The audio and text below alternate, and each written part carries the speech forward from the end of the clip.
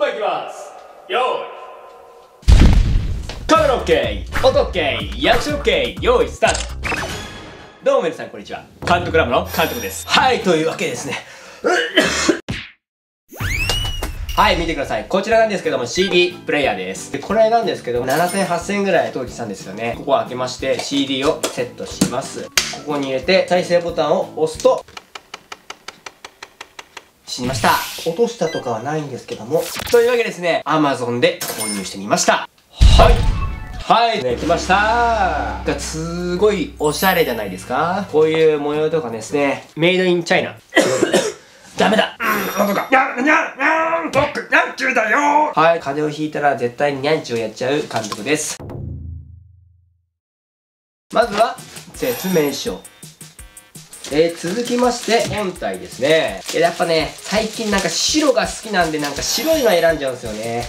軽っ。2本指で持ってます。なんかわけわかんないものここの部分にこう乗せることによってストッパーとしての役目が果たされてこういう使い方もできればまああとはやっぱりですねこの壁掛けなんですよね。ビスが入ってんでこれをそれぞれぶっ刺してこちらリモコンこれがあるんでなんか他のところにぶっ刺して音楽を聴いたりとか。アダプター？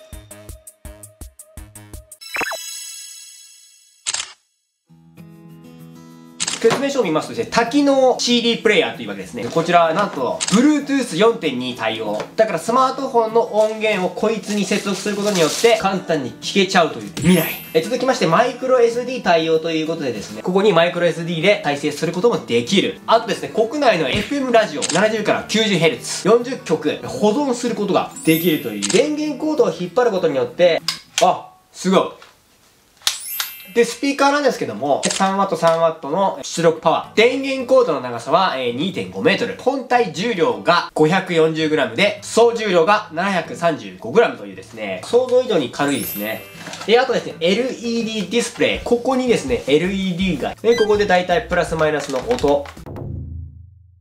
実際にですね、音楽が再生できるのか。いや、それ再生できるわ。で、まずここがですね、おちょ、ちょ、ちょっと待って、これ。蓋がないんですよね。普通なんかやっぱカパってありますよねこのまま直接 CD を入れろというわけですよねこういうことですよねすごね、今ちょっと近くにコンセントがあるんですけど遠いので、えー、こちらですね、モバイバルバッテリーでセットしたいと思います。お、来ました。再生しますよ。すごっ。で、止めるときは、これやると、もう電源供給がなくなるというわけで、ストップするという。はい、しかもここにちゃんと LED ディスプレイ光ってます。いや、いいよ、もういい、もういい、もういいよ。あ、いや、ちょっと待って、ちょっと待って、ちょっと待って。むちゃくちゃおしゃれでめちゃくちゃいいんですけど、え、実際にこれ使う現場が外なんですよ。ここになんかゴミとか乗った瞬間、絶対にぶっ壊す自信がある。ちょっとそこ残念。いや、家で使う分に関しては、普通の市販の CD とか買ったら、絵柄がそのまま見れて、この状態で再生するってすごくないですか？はい、というわけでですね、今回は、えー、CD プレイヤー最新型2019年モデル、えー、こちらを買ってみました。すごいすごいすごい。いやいやいや、すごいよこれ、すごいなやべ、ナビの目線が痛い。はい、普通に家にあったらめっちゃおしゃれ。何かご用ですか？え、シリ、シリって言ってないよね。